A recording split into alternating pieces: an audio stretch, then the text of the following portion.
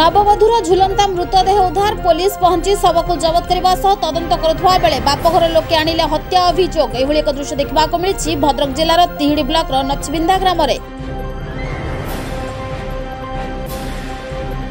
পুঁজি জবত হল নীল জহর চিত্রকুণ্ডা police patrolling করুয়া সময় এক অটোর আটশ এগার কিলোগ্রামর গঞ্জেই জবত দেওয়া সহ সতেরশ টঙ্কা ও চারিটি মোটরসাইকেল সমেত সাত জনক গিরফ করেছে পুলিশ সে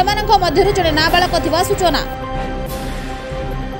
ବାଲହଡ଼ା ବ୍ଲକର ଖମାର ଥାନା ଅନ୍ତର୍ଗତ ଖାଲୁରି ଗ୍ରାମରେ ଘଟିଛି ଅଭାବନୀୟ ଘଟଣା ଶୋଇଥିବା ଅବସ୍ଥାରେ ମହିଳାଙ୍କୁ ତଣ୍ଟି କାତି ହତ୍ୟା ଏନେଇ ଥାନାରେ ମାମଲା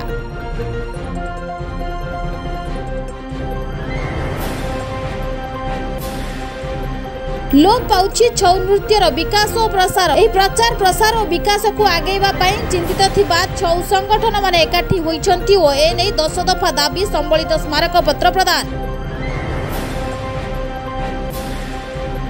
ବାତ୍ୟା ଗୋଲା ପ୍ରଭାବରେ ମାଲକାନଗିରି ଜିଲ୍ଲାରେ ସଦର ମହକୁମାର କିଛି ଜାଗାରେ ଗଛ ପଡ଼ିବା ସହ ଲୋକଙ୍କ ଘର ଭାଙ୍ଗିଛି ଏବଂ ମାଲକାନଗିରି ଓ ମୋଟୁର ତିନିଶହ ଛବିଶ ନମ୍ବର ଜାତୀୟ ରାଜପଥ ସମ୍ପୂର୍ଣ୍ଣ ଭାବେ ଯୋଗାଯୋଗ ବିଚ୍ଛିନ୍ନ